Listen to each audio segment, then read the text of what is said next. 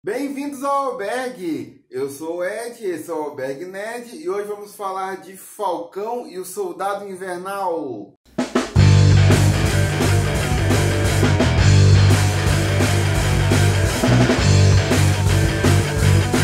O Albergue Nerd!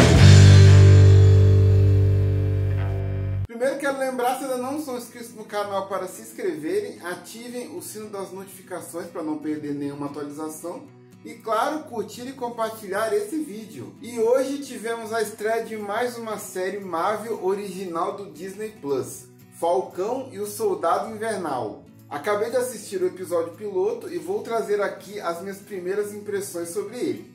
Como acabamos de sair de WandaVision, é importante falar que essa série é bem diferente. Ela tem uma narrativa mais tradicional de uma produção da Marvel Studios. Só que ser diferente não é de forma alguma um demérito, muito pelo contrário, e a série já mostrou a que veio na sua sequência inicial de ação.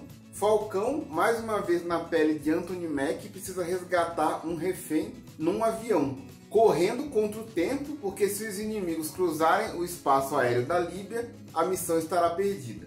Uma cena de ação sensacional, frenética, que não fica devendo em nada a nenhuma superprodução de cinema mostrando que as séries de TV se tornaram produtos de primeira linha, ainda mais nesse período em que vivemos, onde o entretenimento em casa ganhou muito mais importância. Para ter uma ideia, o orçamento da série é de 150 milhões de dólares. Outra sequência de ação excelente, porém em menor escala, é uma missão de assassinato do soldado invernal dos tempos que ele estava sob controle da Hydra, uma missão que volta para assombrar os pesadelos do personagem. E aqui eu já tive uma surpresa. Os trailers e o próprio nome da série me sugeriam uma parceria constante entre os dois personagens, mas eles começam a história separados, o que eu achei bem interessante. O Falcão tem as suas missões com a Força Aérea, como aquela que abriu o episódio, mas o Sam Wilson tem outros dramas para lidar, começando pelo peso do legado do Capitão América. Como vimos em Vingadores Ultimato, o Steve Rogers, já idoso, deu o escudo para o herói alado, esperando que ele seguisse o seu legado. Porém, não se sentindo digno desse legado, Sam dá um outro destino ao escudo, em uma cena que tem uma participação especial bem legal. E Sam tem um drama familiar para lidar. A família passa por dificuldades financeiras e ele não consegue ajudar nisso, mesmo sendo o herói que colaborou para salvar metade da vida do universo e sendo conhecido por causa disso. E também tem uma certa desconexão emocional pelos cinco anos que ele perdeu de convívio por ter ficado desaparecido. Enquanto isso, Buck Burns, o soldado invernal, interpretado novamente por Sebastian Stan, vive o drama de ter lutado anos em prol do inimigo, controlado pela Hydra, matando inclusive inocentes e lembrando tudo o que fez. E ele tem um paralelo interessante com o Capitão América, que no seu segundo filme fez uma lista de todas as coisas que tinha perdido durante os anos em que estava congelado e que precisava conhecer. O Buck também fez uma lista mais de redenção, de pessoas que ele precisa deter ou ajudar. Todas elas que têm alguma coisa a ver direta ou indiretamente com os seus anos como vilão.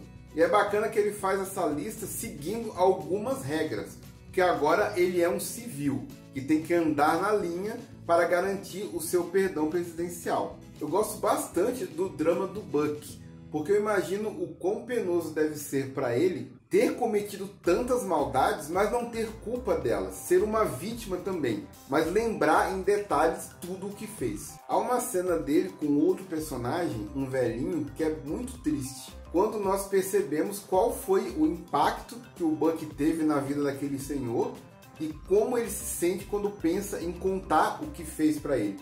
E paralelo ao drama dos dois heróis, temos o surgimento dos apátridas, um grupo terrorista que quer o fim das nações do mundo e a união do planeta sob uma só bandeira. Esse grupo existe nas HQs e é liderado pelo vilão Apátrida, que é um inimigo do Capitão América bem interessante, e acho que esse grupo na série pode render uma boa discussão, dependendo de como for abordado. Não vou dar muitos detalhes aqui, mas o gancho que fica para o próximo episódio é bem legal e tem a ver com um novo personagem assumindo o manto do Capitão América. E acho que vai dar pano para manga. Quando o Capitão América morreu nas HQs, a revista dele, na época escrita por Ed Brubaker, ficou cerca de um ano sem ter um Capitão América oficial.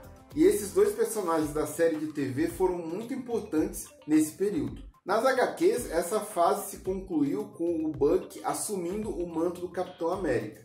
Então acho que a série deve fazer esse mesmo papel. Quando ela terminar, devemos ter um novo Capitão América no MCU.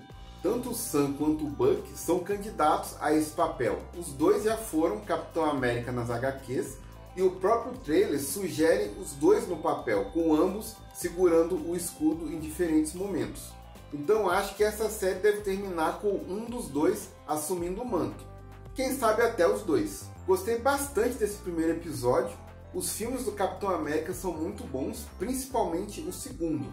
Então eu acho bem legal uma série trabalhando a importância desse personagem e o seu legado e desenvolvendo o seu núcleo de parceiros e amigos. Além disso, assim como em WandaVision, temos mais um pouco de como está a sociedade do MCU depois dos eventos bombásticos de Guerra Infinita e Ultimato. E esse impacto na sociedade daqueles personagens é sempre interessante de assistir. Alguns detalhes, como um casal que fala como foi um deles ter voltado, ou a cena com um gerente de banco que mostra o impacto de como foi o retorno das pessoas todas de uma vez depois de cinco anos. Primeiro episódio bastante promissor e deve melhorar, principalmente quando os dois heróis se juntarem e formarem uma dupla e aparecerem Sharon Carter e Barão Zemo. Se o desenvolvimento dos personagens continuar como tá e as cenas de ação nesse patamar, promete ser sucesso. Curtam o vídeo, compartilhem, se inscrevam no canal se ainda não são inscritos. Não se inscrevam nas redes sociais, Albeck72, Instagram, Twitter e Facebook. Sigam e curtam a gente lá. Nos vemos no próximo vídeo e que a força esteja com vocês.